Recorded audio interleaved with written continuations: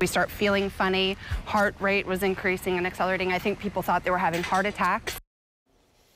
That's how this woman feels after she felt drugged at her friend's wedding, and now the bride and her caterer are facing charges. This is a wild story. The Seminole County Sheriff's Office is investigating what happened. One of the guests spoke exclusively to Channel 9's Ashley Edlin about feeling like she was actually dying, and Ashley's live outside the Sheriff's Office. Ashley, she says it didn't just happen to her. No, many guests, Greg, we spoke to off camera who just weren't comfortable talking to us today for this story told us they started to feel sick at the reception on the dance floor, dizzy even. They said they didn't know what was going on until they started to look around them and realized they were not alone.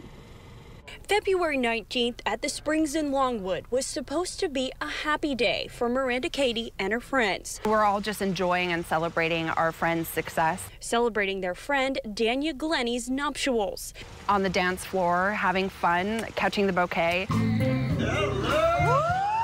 Until something went horribly wrong at the happy occasion. I just started feeling a little bit dizzy um, just kind of like the room was spinning a little bit and things were distorted. Cady wasn't alone. Guests all around her started feeling off. Heart rate was increasing and accelerating. I think people thought they were having heart attacks. In this report from the Seminole County Sheriff's Office, it says a man who called 911 told them he felt like he had drugs inside him. Other guests started telling first responders they suspected the food was laced with marijuana.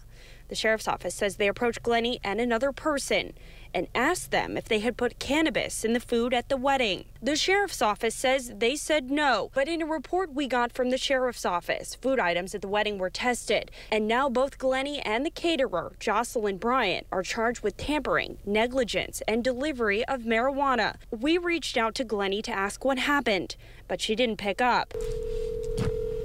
We also knocked at an address for Bryant and tried to call. We're sorry.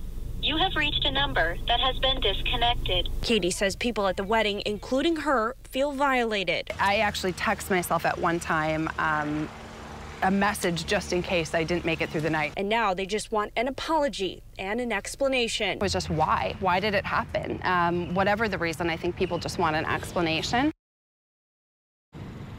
Now, I reached out to the sheriff's office today to ask them what exactly it was that led them to Glenny and Bryant in this case. What connected them to these two?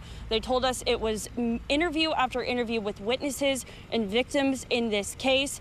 They say this case is ongoing right now. They are still investigating. So when we have more information, of course, we're going to let you know. But for now, live in Seminole County, Ashley Edlin, Channel 9, Eyewitness News.